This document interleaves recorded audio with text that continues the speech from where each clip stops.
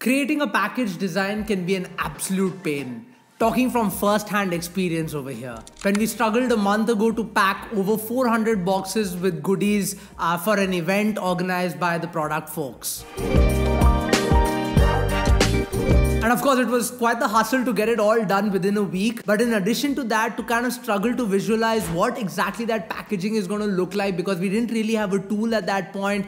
We didn't know how to go about the design of the box with the kind of time and resources that we had. We had to rely on whatever Printo had to offer us. And if we knew about the tool that we're going to have a look at in this video, then life would have become so much easier with all the packaging problems that we had to face. I'm sure when you would have gotten gigs such as this or had to do it in the past for a product of yours, you would have faced problems such as this, right? With respect to identifying what exactly the die lines are going to look like for a particular box, how exactly to design the box itself, right? Which side is adjacent to which side in what dimension. And for the clients as well, when you give them an open drawing like that with all the designs placed, how are they going to visualize what the box is going to look like? How do they get 3D mocks without having to actually print the design once? Hello and welcome to Breakdowns, where we talk about portfolio, art, design, and a bunch of tools that help you with your freelance hustle. In this video, we're going to talk about the wonder tool Pacdora, which is also the sponsor of today's video.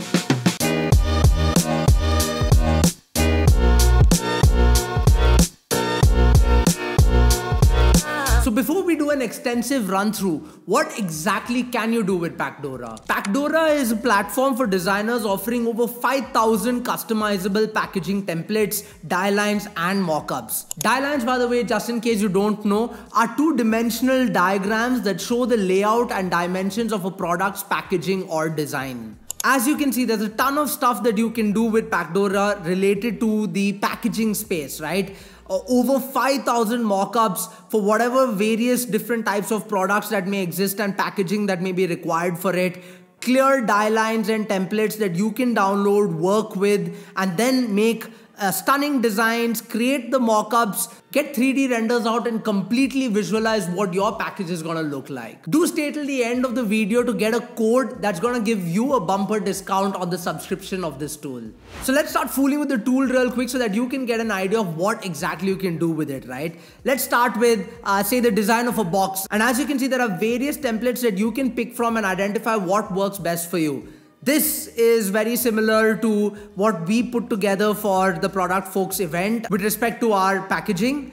And as you can see on Printo, right, this is what the final box is going to look like. That 2D diagram die line when folded the right way eventually comes into being uh, this way, right, as you can see over here. And really quickly, let me just use the dimensions uh, from Printo itself, which is at the end of the day what we actually went ahead with at that point. And so simple, right? As soon as you put in the length, the width, the height, as per the actual dimensions of what you require, you can see the line changing and very clearly on the right side, you can see from open to close, right? How exactly this comes into being and eventually becomes the box uh, for your particular packaging. So you can download it in various formats, whether it's Illustrator, as a PDF, a 3D mockup itself, and using this, you can then go ahead and create your designs.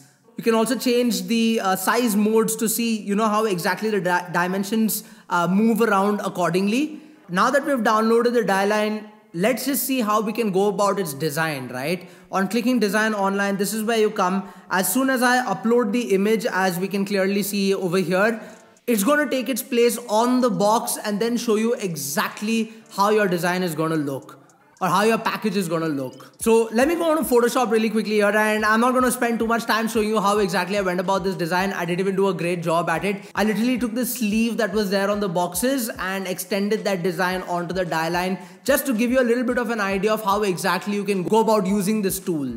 So yeah, save a copy real quick and let's upload that over here on Pacdora. And as you can see, very easy to use, right? Almost like Canva in terms of cropping the image, resizing it and placing it perfectly over here. And uh, now that I can see what I've done, oh, the flap is getting covered inside because of how I have made the design. And because of this visualization, It becomes so much easier for me to understand now that this lower flap over here needs to be on top so that when it's folded the right way, it comes in front. Right? So let's make that change really quickly on Photoshop. And that's what I mean, folks, about the kind of problems that we experience when we design packages and we are not able to visualize this. Having a tool like this makes it so easy for us to understand how exactly we need to make the final design. And now that the flap is up top, this should now fold in such a way that it comes in front rather than inside. And there we go. As you can see over here, working just fine. Beautiful. Apart from that, I can also add elements and stuff uh, like you can see over here on the platform itself, right? There are various other models that we could have picked. There's backgrounds that you can change. You can pick from a bunch of colors that already exist as you can see here or gradients uh, for that matter. And then you also have inbuilt video animations like you can see over here, right? Depending on what exactly you want, whether the product falls in place, whether it opens up, whether it's a, bit of a reveal uh, in that sense on a turntable all these various animations exist for you to kind of download in in fact as you can see over here right on exporting you can either get the mock-up the die lines like we already saw earlier the video in various aspect ratios 16 is to 9 9 is to 16 if it's a, a potential ad that you want to run on instagram or something like that and code if you want to embed it into your site. So many various ways of kind of getting that final output out the way you would like. So that's a lot of problems very easily, seamlessly resolved because of a tool like this, but we haven't even seen the cool part yet. What's coming up right now is absolutely going to blow your mind because the kind of capabilities that Pacdora has kind of created for you to build your mocks very easily. Before I show that to you though, please don't forget to like, share and subscribe if you like this kind of video and if you want to see more such content. I do a lot of extensive breakdowns of AI tools and various platforms that you can use in your daily hustle, especially if you're a creative. Getting back to Pacdora, on clicking on 3D design, this is what happens. Basically, an entire 3D environment is actually set up where the product is placed. I can change the camera angles. I can move around exactly like any of your 3D softwares, right? With respect to the X, Y, Z depth, rotating, zoom in, zoom out. And there's a ton of stuff that you can do over here that makes making mocks a lot easier. As you can see, a bunch of existing templates that are already in place that kind of put your product almost like conventional product photography, right? And I'm sure you've seen a ton of this stuff in ads, on websites, in fact, if you just type package mockups on Google, this is what you're gonna get, right? A bunch of uh, your products placed one next to the other in various orientations, one horizontal, one vertical, etc. Right? And that's exactly what you can do here on Pacdora directly. From a various set of templates, you can pick and create that kind of orientation that you want. You can create an actual set over here, right? Uh, bring in elements uh, you know, just kind of experimenting with this ball, for example, to show you what kind of controls you have with it. A lot of various uh, elements that you can bring over here depending on what kind of product you're actually selling.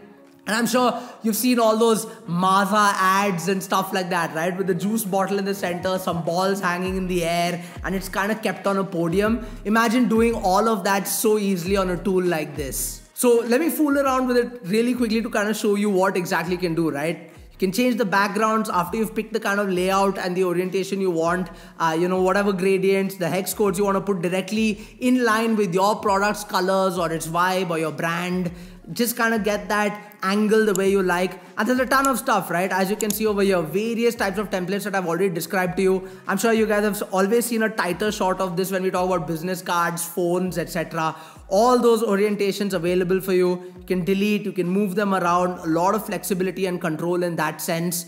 And let's kind of go ahead with this one right? With the with the podium kind of vibe uh, you know just let's get the colors a little bit more somber, a little bit more in line with what Design Crescendo stands for.